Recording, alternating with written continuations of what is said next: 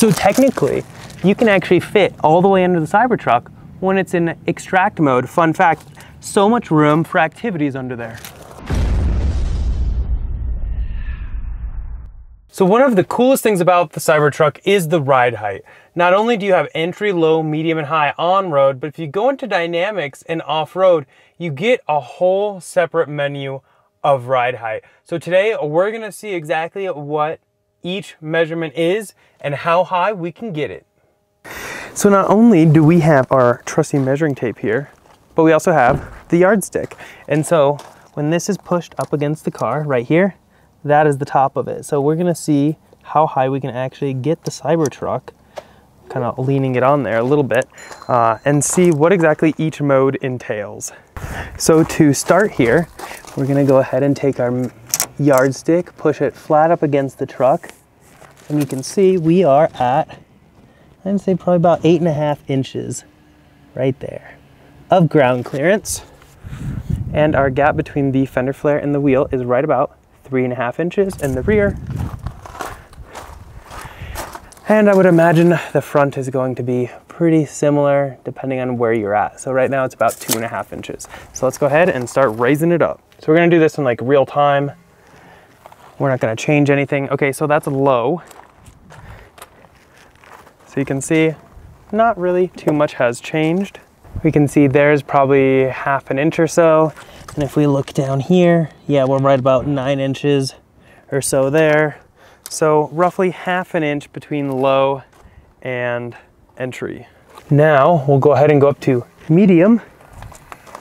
And again, all this is in real time. I'm not fast forwarding any of this. Get this lined up and you can see we're probably almost like two inches there. So yeah, we're right about 11 inches now. And about five and a half inches or so on the rear. and about four and a half or so on the front. Now again, it's gonna vary depending on if you're on a slope or not, but this is a good general use. Okay, so let's go ahead and go up to high.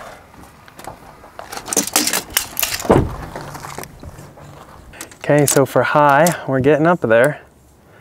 We have quite a big difference between where we started. So I would say we're probably at about 12 and a half inches or so there. And then this rear here is about seven and a half, seven and three quarter.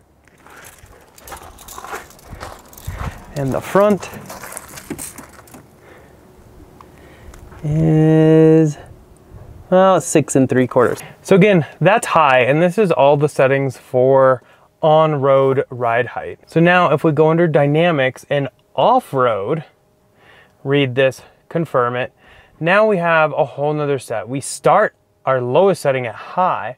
We can go very high and extract. So let's go ahead and go very high and rise on up. It's gonna be kind of a jump to get out of the truck now. So it's very quick when it actually does raise, but you can see now we're pretty darn high. If we start this, I would say we're probably right about 14 and a half inches right here. And then on the rear, this is getting kind of crazy. I'd say we're about nine and a half, nine and three quarter-ish. So I would expect about eight and a half, eight and three quarter on the front, and it is. So one more setting, and then we're all the way done. And this takes quite a bit to jump on into the truck. And actually you can see here, it does even tell us very high is about 14.33 inches. And I did say it's about 14 and a half. So we are pretty darn close there. So now we're gonna go into extract mode and an extract mode can take some time to actually get into because it is going to fully inflate everything. It takes a little bit of time and we can hear the compressor kick in in just a little bit. We can see here that it's still working on raising it.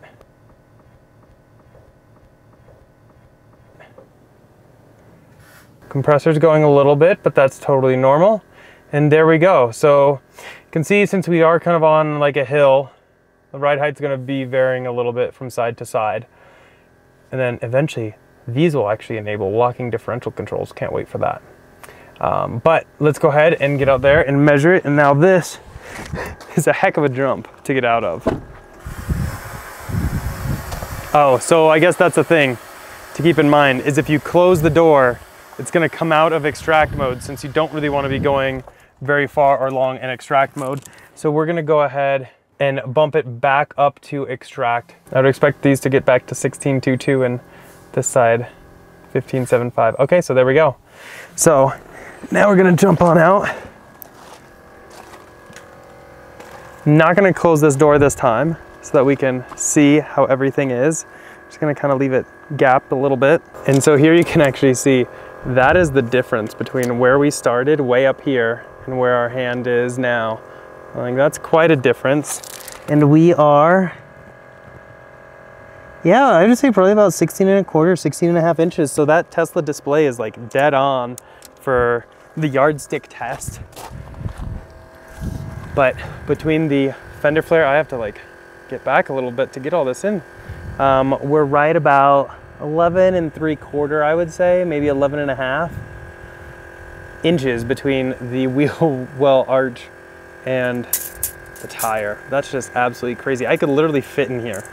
Probably wouldn't want to in case it lost air pressure, but it's possible. And then here, yeah, 10 and a half, 10 and three quarter. So yep, about an inch lower on the front, but that's probably because we're on a slight slope. But you can see so much in here, which is actually pretty fascinating. And like this airbag alone, how big is that? Maybe six and a half, seven inches in diameter. Thing is absolutely a beast. You can see all kinds of cool stuff in there when you do have it all the way raised up. Then you have that back right there. You can hear the air compressor a little bit more on this side because it's actually under the bed. So tons of room.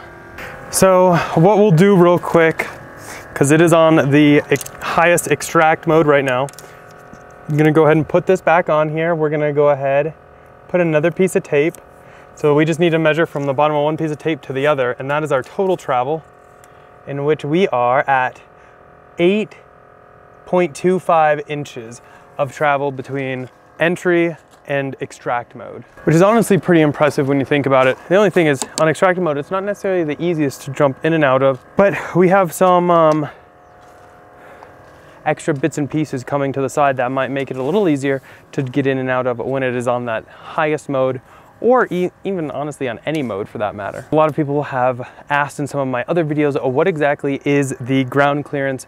And honestly, that Tesla readout was pretty much dead on at 16.22 inches on the highest extract mode. It's exactly basically what we read out here. We need to get one of those wadders like the 410 has. The 410 with the widow wadder? Yeah. Yeah. But look how tall it is. Like, if you just stand up normally, Oh, okay. look at, like, you wouldn't even really be able to see in the bed if the tonneau was open. Mm-hmm. So like, how crazy that is. Wow. Now, see if you can get in there. It would have been easier to get in without that, though. I mean, why'd you make me put that down? How are you gonna get in with it up? Well, with it up, I just get up like this. Oh, okay. Well, that was actually. I mean, that's a lot easier than, like, because if you put this down, Yeah, if you put that down, it's gonna be so hard. You're gonna have to like jump and put your butt up there and then. yeah, it's just like, I mean, I guess I could still do it, but it's like, it's easier to do it with it. didn't even think about it with. Okay. Wow, it's still dusty back here. Yeah, everything's really dusty back there because, um, yeah. Because that rubber seal doesn't really prevent everything from getting in there. I'm guessing that it's about